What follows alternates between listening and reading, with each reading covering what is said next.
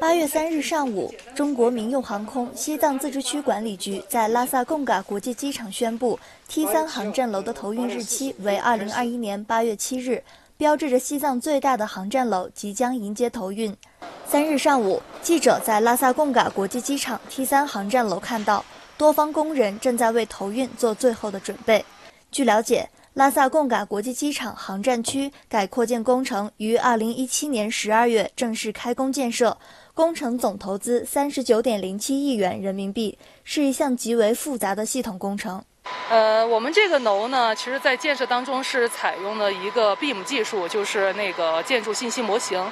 我们用这个技术呢，在前期呃找到了很多设计上的一些瑕疵，可能有些碰撞检测啊什么的。这个也为咱们施工后期呃减少一些返工，还有节省一些时间，做做了一个很好的铺垫。当然困难呢也是有，就是说咱们这个西藏，毕竟咱们海拔三千六百多米，呃人员在这儿降效，因为咱们缺氧嘛。呃，可能这个体力啊，包括这个精力都没法跟在内地的一个状态相比，所以呃，不光是人，咱们机械也存在一个降效的一个情况。一九五六年五月十一日，西藏自治区第一座机场当雄机场破土动工。由于航空业务需求量的不断加大，一九六六年拉萨贡嘎国际机场建成投运，当雄机场完成了它的使命。直至今日。西藏自治区已有包括拉萨贡嘎国际机场在内的五个民用机场，一座座现代化空港屹立在雪域高原，蓄势待发的西藏航空业将在世界屋脊腾飞。拉萨贡嘎机场 T 三航站楼建成投入使用以后啊，将会极大的提高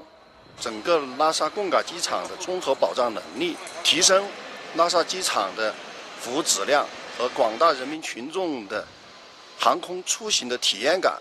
为西藏自治区经济社会的发展带来新的动力。西藏自治区建立初期，民航被认为是西藏通往中国各地的空中金桥，航空运输是连接西藏和外界的唯一快速通道和高效运输方式。截至目前，西藏民航实现安全飞行五十六周年，空防安全五十六周年。创造了世界平均海拔高度最高保障飞行难度最大的地区安全飞行时间最长的记录成为世界民航高高原安全运行的典范。